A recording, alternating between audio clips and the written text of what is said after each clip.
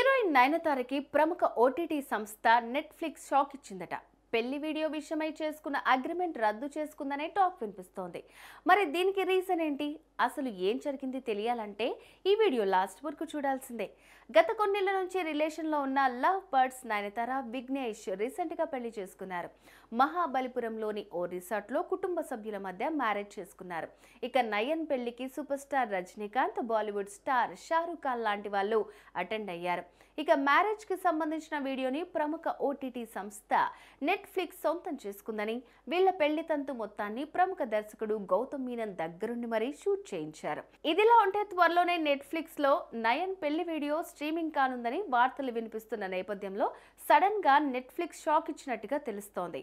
Nayan విఘ్నేష్లతో Netflix చేసుకున్న ఒప్పందాన్ని అర్థాంతరంగా రద్దు చేసుకుందని మాట్లాడుకుంటున్నారు. భారీ మొత్తానికి ఒప్పందం కుదుర్చుకున్న నెట్ఫ్లిక్స్ చివరి నిమిషంలో ఒప్పందాన్ని రద్దు చేసుకోవటం ఏంటని అంత అవాక్కవుతున్నారు అయితే ఇటీవల విఘ్నేష్ శివన్ వివాహం జరిగిన నెల రోజులు పూర్తయిన నేపథ్యంలో సోషల్ మీడియా వేదికగా కొన్ని స్పెషల్ ఫోటోలని అభిమానులతో షేర్ చేశారట. ఇది నెట్ఫ్లిక్స్ నిబంధనలకు విరుద్ధమట. ఆ కారణంగానే నెట్ఫ్లిక్స్ విఘ్నేష్ నయనలతో చేసుకున్న ఒప్పందాన్ని రద్దు చేసుకున్నట్టుగా వార్తలు వినిపిస్తున్నాయి. మరి ఇందులో నిజమెంత అనేది తెలియాలంటే మాత్రం అసలు విషయం తెలియాల్సిందే. ఇదిలా ఉండగా పెళ్ళి తర్వాత తన డెబ్బై ఐదవ సినిమాను నయన్ రీసెంట్గా అనౌన్స్ చేసింది. మరోవైపు విఘ్నేష్ శివన్ రీసెంట్ రీసెంట్గా తమిళనాడు సీఎం స్టాలిన్ని ఓ యాడ్ కోసం డైరెక్ట్ చేశారు. త్వరలో అజిత్ హీరోగా కొత్త సినిమా డైరెక్ట్ చేసేందుకు రెడీ అవుతున్నారు.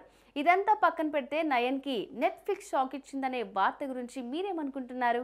మీ ఒపీనియన్ని కామెంట్స్లో పోస్ట్ చేయండి.